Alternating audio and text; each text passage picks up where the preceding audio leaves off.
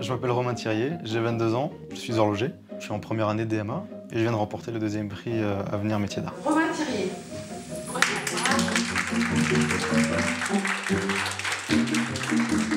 J'ai d'abord fait un baccalauréat en, énergie renouvelable.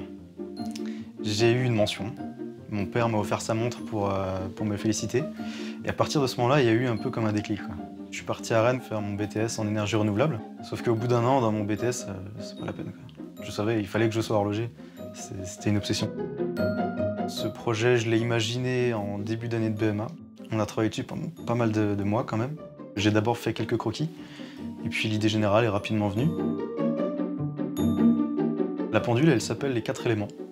C'est son thème, ça la représente.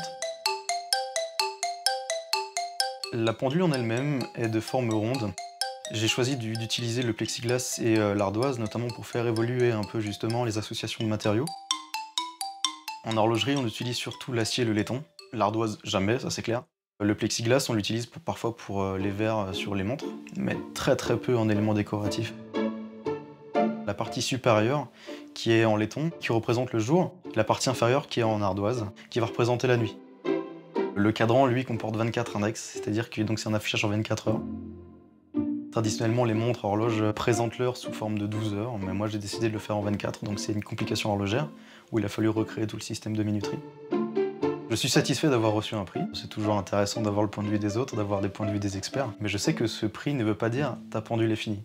Elle peut encore évoluer, et je pense qu'elle évoluera de toute façon. Dans le métier d'horlogerie, c'est une, une recherche euh, constante euh, d'amélioration. J'espère qu'à l'issue de cette formation, je vais pouvoir euh, apprendre un maximum de choses avec des horlogers indépendants, parce que c'est mon désir, c'est de pouvoir être indépendant, d'avoir éventuellement un jour ma propre marque, faire mes propres montres.